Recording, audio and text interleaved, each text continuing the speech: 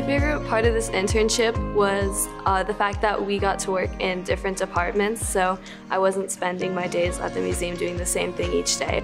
I would say my favorite part is the diver diversity that it offered to us as a whole, being in different departments every day, and also being being able to hang with other teenagers. I think my favorite part has to be getting to interact with like a lot of different people and meeting new people. Uh, my favorite part of this internship has definitely been working up and up in gallery learning. My favorite part of this internship was all the people that I got to meet. Um, the other Vertex interns have been really nice and I've had a really good time working with them on projects. It's been great to like collaborate with a bunch of different people.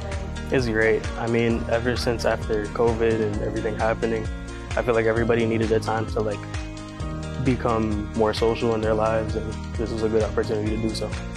We had a lot of fun in like the professional development days. Uh, we did like a lot of icebreakers um, and fun games and I think everybody like really bonded. I feel like I can rely on them for anything now.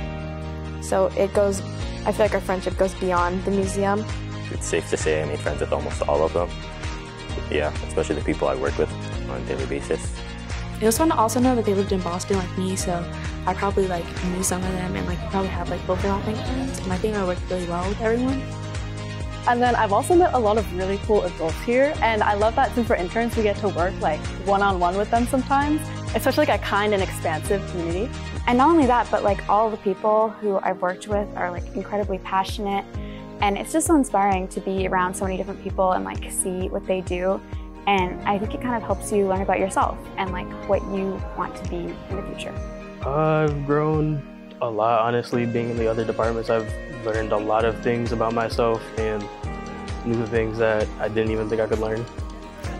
Every department I've worked in has definitely helped me interact with other people, and it may be intimidating to do so at first, but uh, gradually it just gets better. I think definitely from the beginning to now, I'm way better at like talking to people I like the informal science education, being able to talk to people in like in a conversation, but still being able to teach them something. I've learned to be more adaptable with a changing schedule each day, and I've also learned to work better as a team with other interns and staff members towards like a common goal. I know that I'll take away like learning how to work on a project and then put it on hold and work on something without getting the two mixed up or letting one fall behind. Since we do so many things here, you're kind of managed. You're like juggling different projects. This internship also opened my eyes to like different types of careers in STEM. Like a career in STEM isn't just working in a lab. I've never really seen myself as a science person, but I think now I feel like maybe I feel more included in science and I feel like if I wanted to pursue something in science that I wouldn't feel as like intimidated. I wouldn't really consider myself a science person before, but the museum definitely opened my eyes up to the world of like informal learning and there's just a bunch of different parts. So yeah, I would consider myself a science person now.